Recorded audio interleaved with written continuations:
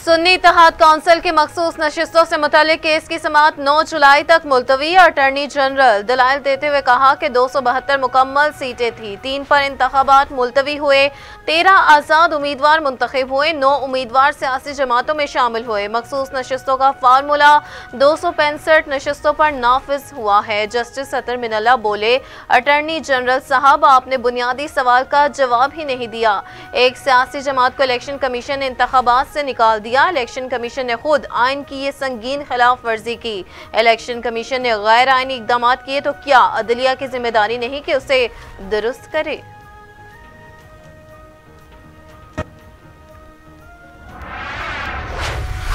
माजी में कभी आज़ाद अरकान का मामला अदालत में नहीं आया। इस मरतबा आज़ाद अरकान की तादाद बहुत ज़्यादा है और केस भी आया है। जस्टिस मंसूर अली शाह मखसूस नशस्तों से मुतल केस में रिमार्क्स।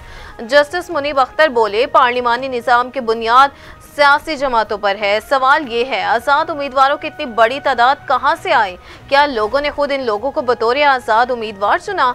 क्या इलेक्शन कमीशन ने खुद इन लोगों को आज़ाद नहीं करार दिया? जब ऐसा हुआ है तो क्या अदालत को ये गलती दुरुस्त नहीं करनी चाहिए? क्या वो कानूनी ऑप्शन नहीं अपनाना चाहिए जो इस गलती का अजाला करे?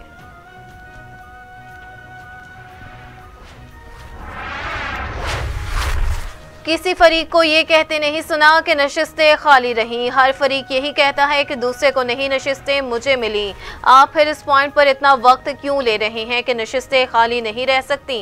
मौजूदा सूरत हाल बन सकती है या आइन बनाने वालों ने क्यों नहीं सोचा? ये उनका काम है, आइन में क्या क्यों नहीं है? ये देखना हमारा काम नहीं है। बार बार कह रहा हूँ, हमारे सामने मौजूद आइन के मतन पर रहे। चीफ जस्टिस काजी फायज ईसा के सुन्नी तहत काउंसिल के मखसूस नशस्तों से मुतल केस के दौरान रिमार्क्स जस्टिस मंसूर अली शाह बोले, इलेक्शन कमीशन किस इख्तियार के तहत पार्लिमानी पार्टी डिक्लेयर करता है? पार्लिमानी पार्टी करार देने का नोटिफिकेशन कैसे आया? वज़ीर अजम शहबाज शरीफ दो रोज़ा सरकारी दौरे पर ताजकिस्तान रवाना हो गए हैं। ताजिक सदर इमाम अली रहमान और वज़ीर अजम से मुलाकातें करेंगे। उसके अलावा अफ्रीकैन के दरमियान बाहमी दिलचस्पी के मुख्तलिफ़ शोबों में ताउन पर बातचीत होगी। दोनों ममालिक में भी मुख्तलिफ़ शोबों में ताउन के माहों और मुफाहमत की याददाश्तों पर दस्तखत का भी इम्कान।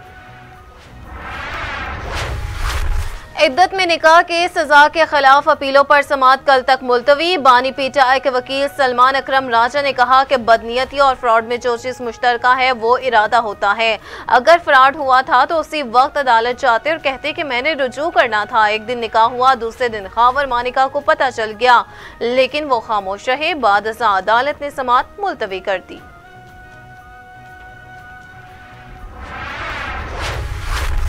खैबर पख्तूनखा में सिक्योरिटी फोर्सेस के ऑपरेशन नो दहशत गर्द जहनुम वासिल हो गए। आई एस पी आर के मुताबिक हलाक दहशत गर्दों में कमांडर नजीब उर्फ़ अब्दुल रहमान और कमांडर इशफाक उर्फ़ मुआविया शामिल।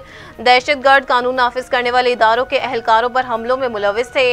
हलाक दहशत गर्दों के कब्जे से असलहा और बारूद भी बरामद। आई एस पी आर के मुताबिक इलाके में किसी दूसरे दहशत गर्द के खात्मे के लिए सैनिटाइजेशन ऑपरेशन भी किया गया। पाकिस्तान की सिक्योरिटी फोर्सेज मुल्क से दहशत गर्दी के खात्मे के लिए पुरअज़म है।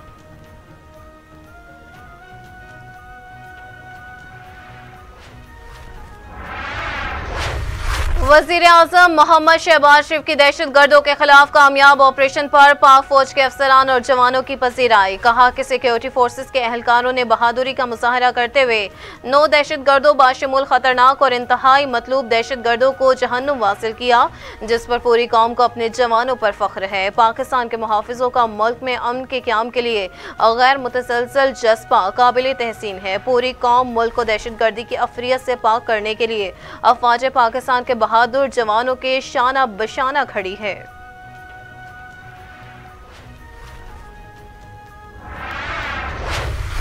2000 अशिया पर दो फ़ीसद इजाफी कस्टम ड्यूटी आए, छह सौ सतावन लग्जरी अशिया पर रेगुलेटरी ड्यूटी में इजाफा। यकम जुलाई 2024 से एफ़ बी आर ने मुताद दरामदी अशिया पर इजाफी कस्टम ड्यूटी भी नाफिज कर दी। हज़ार सी सी से जायद सी के डी वाली कारों, जीपों और कमर्शियल गाड़ियों पर सात फ़ीसद ए सी डी आयद होगी। इस समन में एफ़ बी आर ने ताज़ा एस आर ओ में अपने पुराने notification number S R O को मनसूख कर दिया, जिसमें मखसूस अशिया की दरामद पर रेगुलेटरी ड्यूटी लगाने का तस्करा था।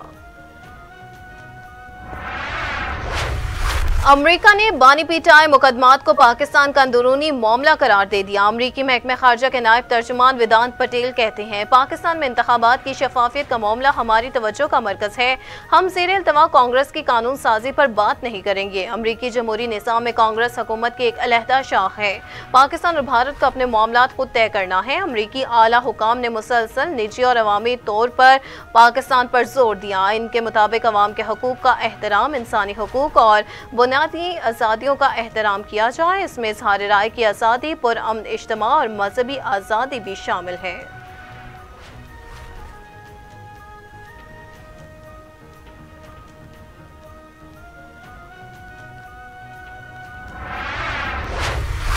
अमरीकी सुप्रीम कोर्ट ने सबक सदर डोनाल्ड ट्रंप का इस्तना तस्लीम कर लिया। रिमार्क्स ये कि सबक सदर को आइनी इख्तियार के अंदर फैसलों पर कार्रवाई से तहफ़ है।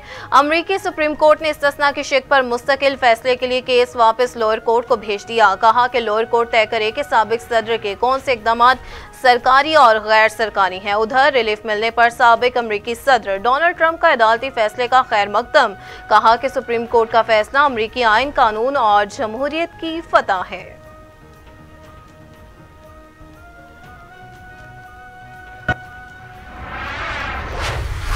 यकम जुलाई से घरेलू सार्फिन पर आए फिक्स चार्ज की तफसीत सामने आ गई। मीडिया रिपोर्ट्स के मुताबिक फिक्स चार्ज 200 यूनिट इस्तेमाल करने वालों से नहीं लिए जाएँगे।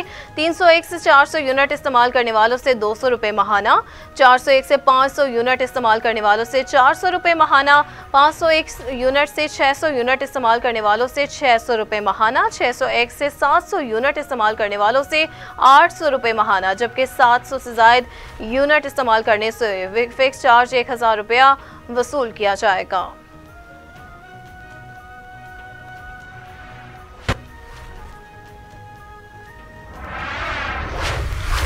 मौशी सुस्त रवि मुल्क भर में पेट्रोलियम मसनूआत की फरोख्त, अठारह साल की कम तरीन सतह पर आ गई। ऑयल मार्केटिंग कंपनीज़ के मुताबिक गुजशत माली साल तक पेट्रोलियम मसनूआत की मजमू फरोख्त आठ फ़ीसद कम रही। ओ एम सी के मुताबिक जून में पेट्रोलियम मसनूआत की फरोख्त चार फ़ीसद, इजाफे से चौदह लाख पचास हज़ार टन रही। ताहम गुजशत माली साल मजमू फरोख्त एक करोड़ छियासठ लाख टन रिकॉर्ड की गई। तजिया कारों के मुताबिक फरोख्त में कमी की एक बड़ी वजह पेट्रोलियम मसनूआत की बुलंद कीमतें भी हैं।